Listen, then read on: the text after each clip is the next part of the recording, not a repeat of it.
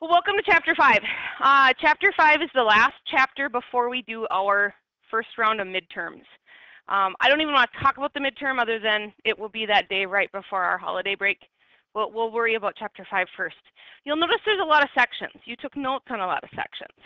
Um, but these sections also have a lot of visuals. So as always, I'll supplement your handouts with those visuals. Today I want to just talk about in general what a merchandising business is. Um, basically, they sell stuff. They sell merchandise. They sell inventory. They buy the inventory and turn around and sell it. The inventory at Willie's is basically food.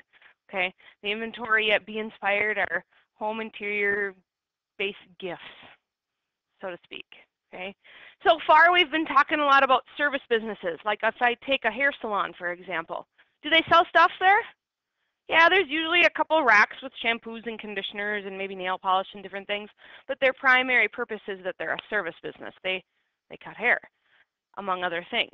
This now is more like selling stuff, and it I guess times well with the holiday season and the gift buying and all that business. Okay. What I want you to know is we're going to just talk in general today about merchandising businesses or people that sell stuff. We'll talk about how do we purchase stuff that we turn around and sell. Purchasing merchandise and selling merchandise is definitely different, and we'll spend a couple days talking about those. We're going to just talk vocab on this section. I'm not going to actually have you do adjusting and closing entries for this chapter. We don't have time. And I will introduce to you, remember how we had the classified balance sheet with lots more sections? Well, now we're going to have a more of a in-depth look at an income statement. So that's just a snapshot of our chapter.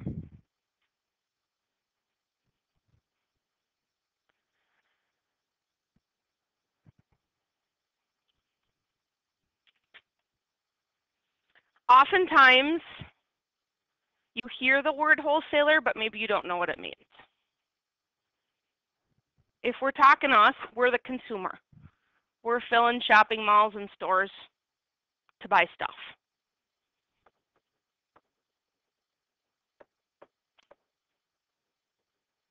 The book more formally calls that stuff merchandise.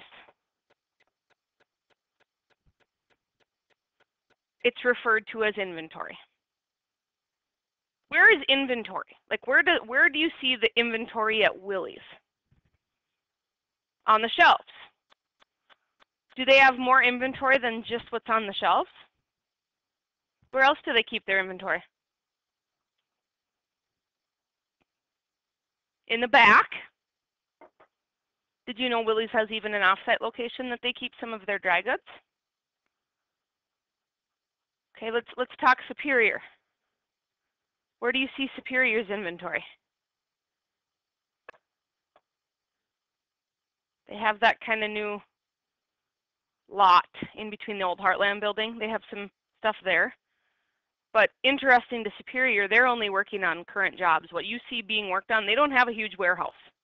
So they don't have a huge back room. That, that inventory is being produced and shipped out right away. Okay. Where do you see the inventory at Heartland Motor Company? On the lot? Do you think they have some elsewhere? The vehicle industry is a little bit unique okay? They're not, they don't have a back room full of cars ready to come out.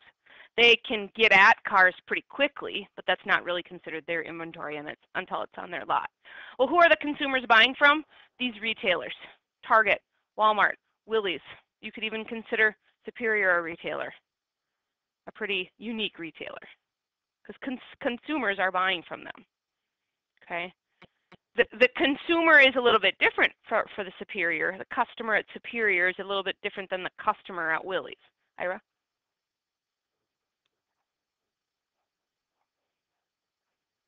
Yes.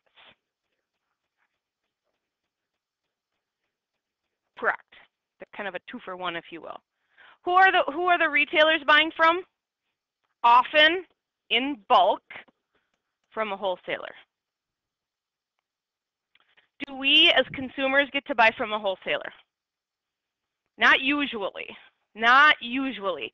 Usually you need some kind of identification that you're considered a retailer, like a business ID number. You hear sometimes of retailers, we're going to market. Have you ever heard that phrase before? Like I'll use examples from Sweet Lily's. I'm in Sweet Lily's a lot. And, oh, Jenny, we're going to market this weekend. We can't wait. And what that means is they're going to a huge, like, almost like an expo type setting where all sorts of wholesalers are set up trying to sell them bulk product. The fun part about when retailers go to wholesaler markets, so to speak, they can often bring a guest. And so that's really the only way general consumers are going to get into a place like that is with another retailer. I, I use the word bulk with caution. You don't have to buy in bulk, but what do you think goes up if you're not buying in bulk? Yep, the cost. If you buy two pallets worth of this versus one thing of this item, the one thing is going to be, oftentimes they give really deep price deductions if you buy in bulk. Our school, for example, we're not a retailer, but I'll use school for example. Um, have you ever been in the custodian room? There's pallets of toilet paper. They don't buy one package of toilet paper at a time. They're buying pallets of it at a time. So this is, as consumers, this is really all we see. We walk into a store, whether that store is bricks and mortar, like a store, or you jump online to a store, that consumer retailer relationship is pretty big. But this is where the retailer gets their stuff, oftentimes from wholesalers. I want to go back track a minute. Um, notice the, the, how the word revenue has changed a bit. It's called sales revenue instead of service revenue. Or even you'll hear me call it sales. A credit-based account.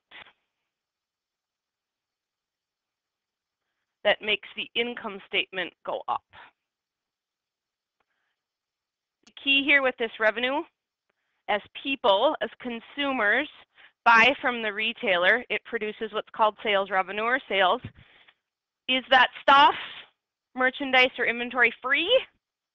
No. That brings into a new player. How do we measure our income then? We take a look at our money in from sales. I want to actually jump ahead a minute. Yeah. The simple income equation that we know so far, sales or revenue, which I'm going to use both of them. Oh. Sales revenue minus expenses has typically equaled either a net income or net loss. We know that. We've been running that since early on in the book. That's the simple income equation. Sales or revenue minus expenses equal hopefully a net income. This chapter introduces a very complex version of this income statement or income equation. I'm going to backtrack and show it to you. We take a look at our sales. Here, right here is the simple one. Sales minus expenses equal hopefully a net income. But now we're going to introduce a few more players. Sales minus cost of goods sold, or what we're going to refer to as COGS. I always think of Cogsworth from Beauty and the Beast when I say COGS. But sales minus the cost of goods sold. There's a lot of factors here on cost of goods sold. It could be things like what we bought from the wholesaler, maybe what it costs to ship. But we're going to talk about shipping tomorrow. Okay. Did we have to pay someone to go pick it up? Cost of goods sold is the total cost of merchandise sold during the period. And we stop and say that equals what's called our gross profit. I'm going to jump ahead and do this again. Sales revenue minus COGS, cost of goods sold, equals gross profit.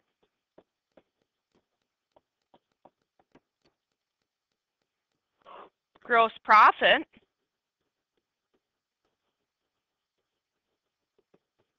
minus, I'll come back to that, operating expenses. Got to pay to have the lights on, utility expense. Got to pay our employees, salary and wages expense. You got to pay to advertise.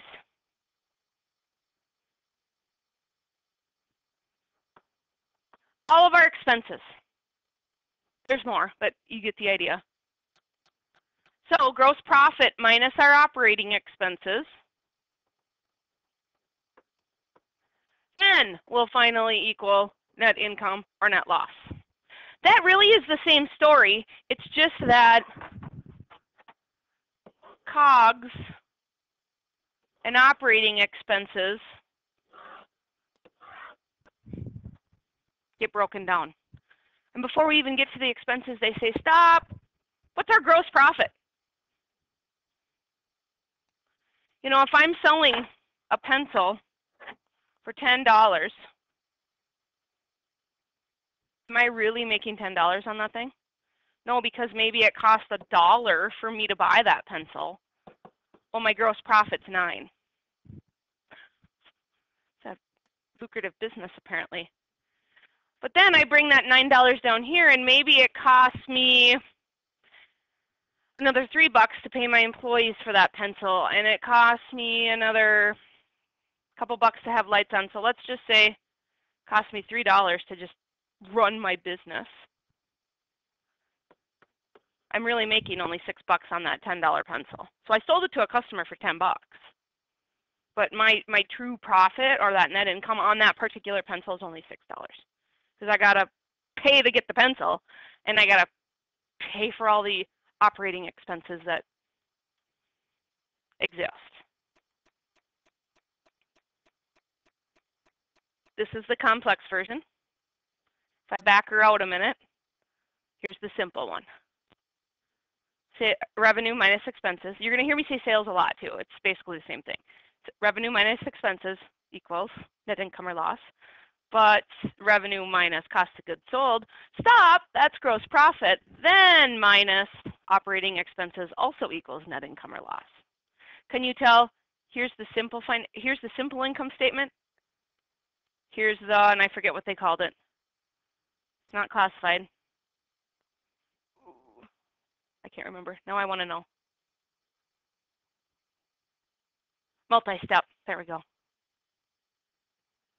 So memorize this, know it, get it ingrained in your head, and I'll talk a lot about it in the coming days.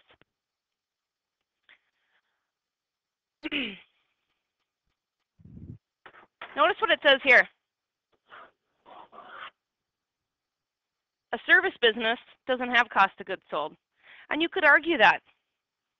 When you go get your hair cut, they're using a clipper or a scissor, maybe they blow dry your hair. Well, doesn't that cost something? Operating expense. Doesn't it cost to have that person cutting your hair? Well, operating expense. They don't look at it as a COGS in a service business. Yes. Yeah, yep. Right, right. Now, right, right. Good. Um, just don't be confused by the whole idea of a hair salon. The shelf full of shampoo and conditioner that they want you to buy, that is inventory. That would follow this longer scheme. This visualizes, and I believe this is in your handout, this plays out the service versus merchandising, okay?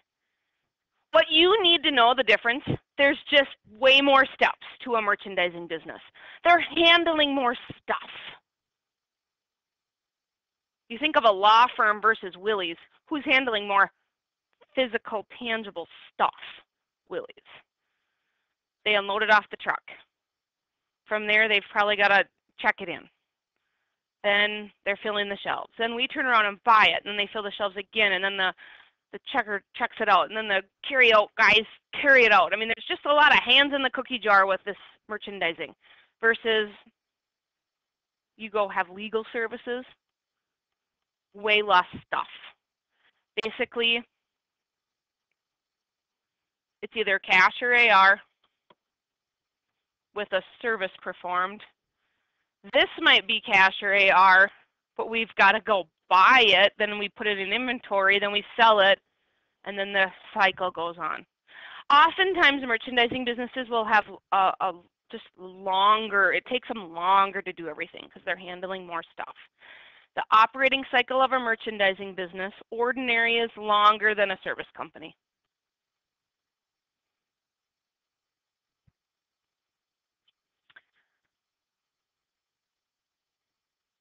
Handling inventory is very complex. One business that does it particularly well, Amazon. You guys, I ordered something from Amazon Saturday, and it was at my door yesterday. Think about the amount of inventory Amazon has. Warehouses the size of our school. Why are we getting Amazon stuff quicker? Because now they're putting up big stuff in the cities. You can order stuff in, from Amazon in the cities, you'll get it the same day. Well, no, I, I know for a fact. Like my brother lives near one of the big places and they can get stuff the same day they order it. Now, can you go walk in and shop at the Amazon warehouse? No, you can't. So I use Amazon because managing their inventory system, talk about a huge job. And the book talks about two types of inventory management systems, perpetual or periodic. I'm going to explain both, talk about benefits of one particular, and I'll read to you what the book says about which approach we're going to use in this chapter. A perpetual system. What you need to know about perpetual, it's continuously being monitored. And you'll probably have to look in your notes for this. I don't believe I put much in your ha supplemental handout for that. What you need to know about a perpetual system is it is continuously being monitored. Very detailed records of everything are always listed. And as far as COGS go, it's every time we either purchase inventory or sell it. So every time we go buy something, COGS is listed, and every time we sell something, COGS is listed. My best example that I can give is a car dealership. Do you think the cars on that Heartland lot, they know exactly how much they paid for them? They better, especially as we try to wheel and deal and bargain a better price.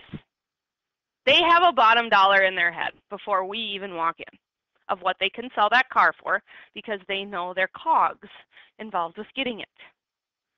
And if it came from a long way and it costs a lot to ship it on that those crazy double-decker trailers that those cars show up on, okay, they're running cars all the time and they need to know a price that goes with that. So their cogs is in their head and they have a very detailed record of it okay?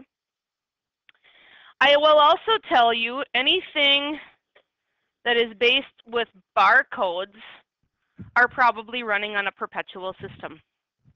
Think about how barcodes have changed how retail works.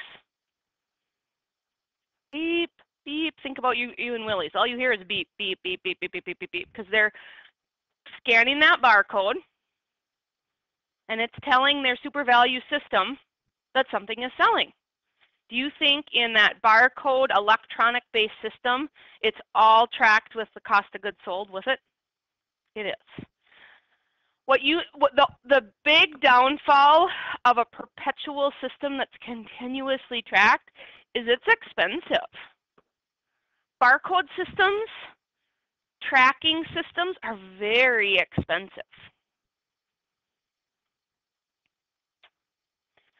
Um, delivery folks now have barcodes right on their hip. They'll beep them right in as they deliver them. Okay, a few of you are Willys people. Dana, I'll pick on you a minute. Have you ever seen when stuff comes off the truck at Willys? Never ever? I can guarantee there's lots of handheld barcoding going on. There's probably barcode scanning um, from the shipper that it's coming when it's coming off the truck, and there's probably some sort of barcode system from for Willie's knowing what's in the back room. I can guarantee at Willie's they could look up how many cans of corn they have right now in the store. Are they doing that on a daily basis? Probably not. But the whole idea of our perpetual system is that it's continuously being monitored every time it comes in when we purchase it and every time when we sell it. Some pros, and I, I think there's a whole slide, but I'll write them down right now. Um, there's less room for error on a perpetual system or fraud for that matter. When it's beep, beep, beep, beep, checking in, could I steal a can of corn very easily from the back room? They're probably going to figure it out. Somewhere, someone, some beep is going to know that that can of corn is missing. So it prevents fraud and error a lot better. Again, what you need to know, perpetual systems are continuously monitored and COGS is every time we purchase or sell something.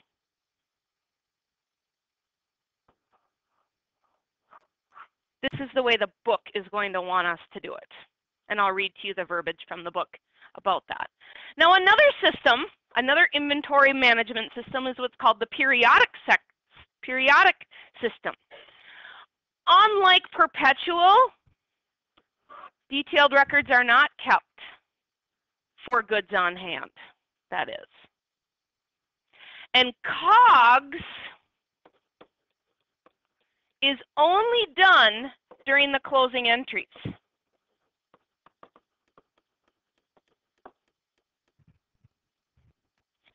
If this is not in your notes, please add it. This big math problem right here is how COGS is measured. They take a look at what we have at the beginning, plus any purchases, less the ending inventory, and then that's COGS. So what we have at the beginning, plus what we buy or add into our inventory, and then what's left at the end.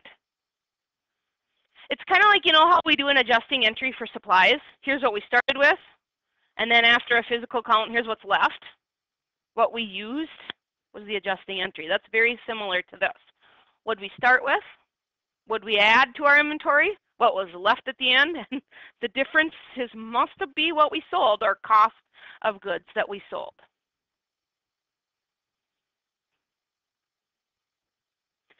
This tends to be more what small businesses who maybe don't have the sophisticated system like a barcode use. I'm going to be honest, this is what Junk by Jenny uses. I couldn't tell you how many chairs I have right now. They're stacked up in my parents' barn. I recently bought 40 at one time, so I know I have at least 40. But some are junky. Some I won't end up using. Okay, so am I tracking every chair and every bit of paint that I put on it? And every bit of sandpaper that I use? No, I am very much for my side business that I have a, per, a, periodic system. I take a look at what do I start my year with? What did I add to it? What did I end up actually using? And then that is my cost for the year. I am not looking at cost every single time. Because what if I use half a gallon of paint here and another quarter of a gallon of paint there? I'm still left with a quarter gallon of paint at the end of the year. Those become my operating expenses in my line of work, COGS is often free because people are begging me to take their junk. I, I buy some of my stuff, I do, um, but I don't calculate, I don't look at every sale or every purchase as worst cogs. I just use this. What I start with, what did I add, and what it was I left at the end. And then figure out cogs from there. Do you see how this is a little bit more under the radar? Like, mm, how are, are there 40 chairs in that barn, Jenny, or are there 41? I honestly couldn't tell you right now. I just take a look at what I start with, what I add, and then what's left at the end.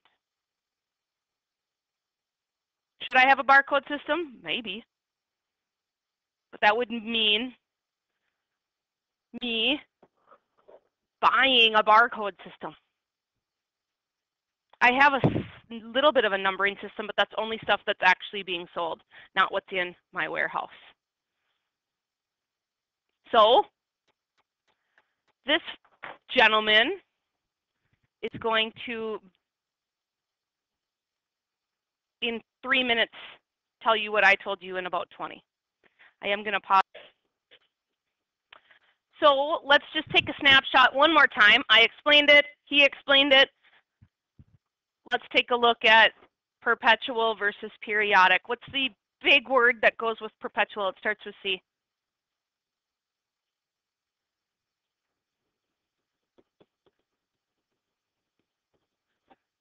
Hmm, might have spelled that wrong, but not sure. We'll go with it. Perpetual is continuously being monitored. Every time we purchase inventory, we stop and say, what was COGS? Every time we sell inventory, stop and say, what was COGS? Perpetual often is some barcode based expensive management software that goes with it and it and it oftentimes is costly. But there is less error and fraud. Yes.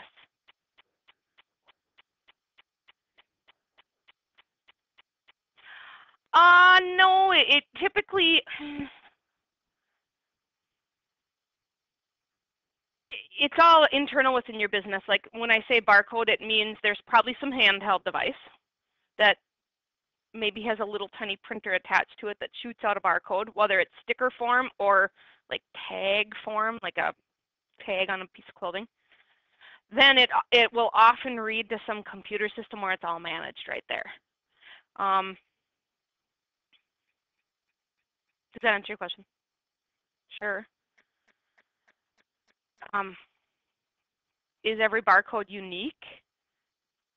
To go back to answering your question a little bit more, like, could I go scan something at Willie's? Probably. And it's all that magnetic, like, infrared, like, you think about a barcode reader, it's got those lasers that read it.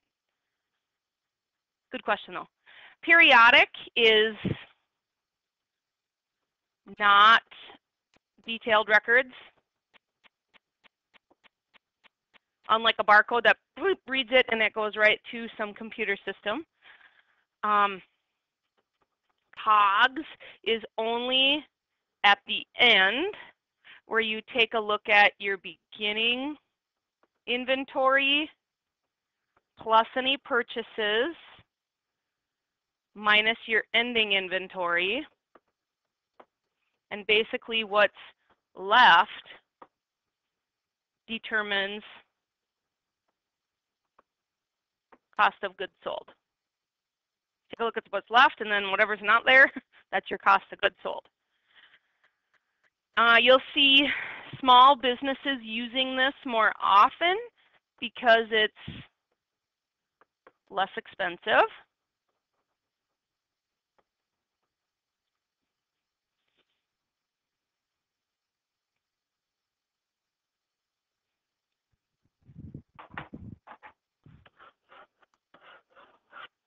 these points are what make perpetual a little bit better. And I want to read to you what the book says about this.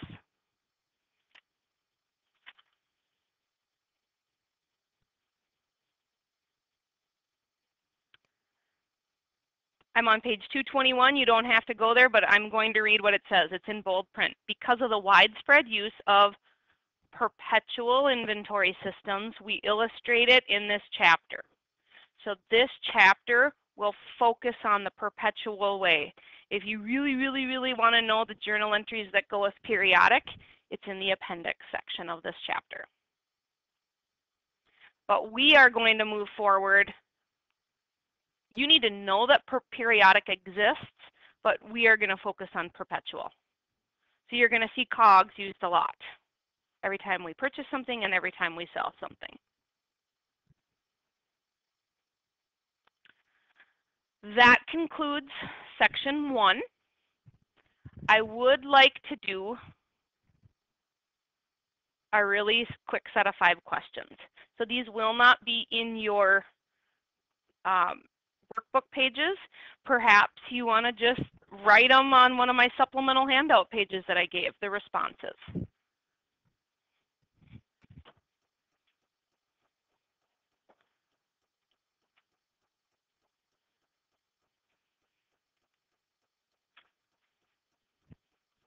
I don't think we'll have time for brief exercise 5-1.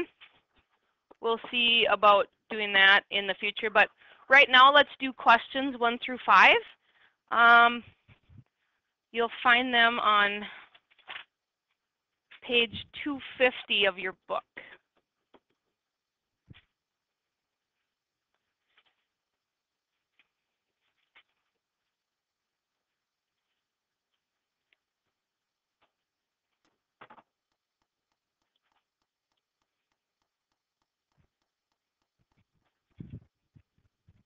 We'll do them together. Tomorrow, tomorrow Thursday, we'll get into journalizing, both the purchase of a, a uh, merchandise and then the sale of it. Question one, there's two parts. They're basically wanting you to agree or disagree with the statement. The steps in the accounting cycle for a merchandising business are different from the accounting cycle of a service company. Do you agree or disagree?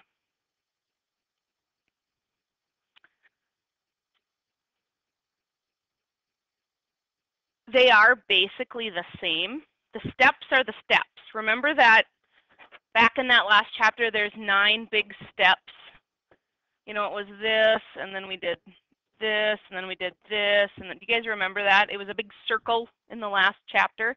So they're basically the same it's just the steps are anyway. They have to do all the same steps. We have to journalize and post and make a trial balance, and then we do a worksheet and do an adjustment, and then we it's all the same basic steps. It's just that a merchandising company is just more there's more detail involved because there's more hands in the cookie jar. Is the measurement of net income for a merchandising company conceptually the same? It is conceptually the same. It's just that there's a few more stops or hoops to jump through. Remember, revenue minus expenses, we'll just say equals net income. That's the basic premise. It's just now we're going to add a few more stopping points. Revenue minus COGS equals gross profit minus expenses then equals net income. That's basically the same. It's just a few more merp, stop, add a few more concepts there. Number two, why is the normal operating cycle for a merchandising company likely to be longer than a service company? Why do you think it is? Why is it going to be a little bit longer? More hands in the cookie jar. We first have to purchase merchandise and then sell it. And we have to go get our AR. So you might go back to question one and be like, where's, I thought it's, it's different. Well, it's the same basic steps as a service. It's just going to take longer, a merchandising-based business. Number three, How do the components of revenue and expenses differ between merchandising and service companies? And then explain the income measurement process. It's basically what we just did up there.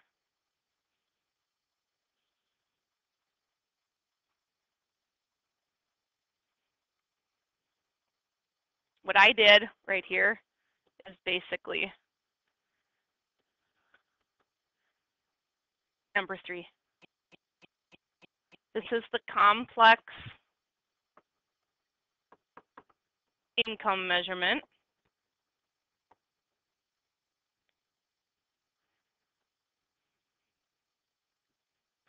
I like how they um, stop and say, okay, here's for a merchandising business, here's for a service business.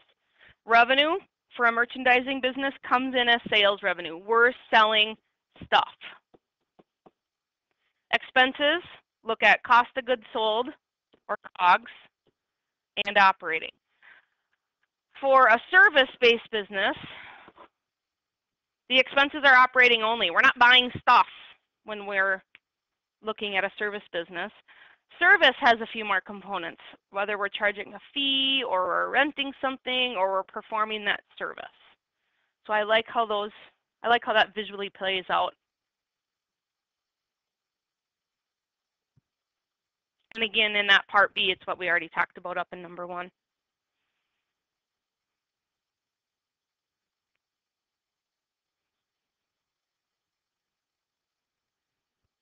Number four is basically saying the same thing as number three. They're just asking you how does income differ between a merchandising and service business. Again, if you know that long income measurement thing, you're good to go. Revenue minus cost of goods sold, stop, equals gross profit, minus your operating expenses equals either the net income or loss.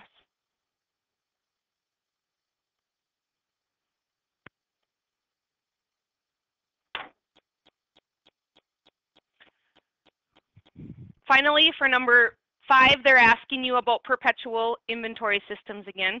Perpetually, or in a perpetual way, it's continuously being recorded. Cost of goods sold is determined every time we sell something. Instead of in a periodic system, it's only figured out at the end based on what we start with plus anything else we bought minus what's still there.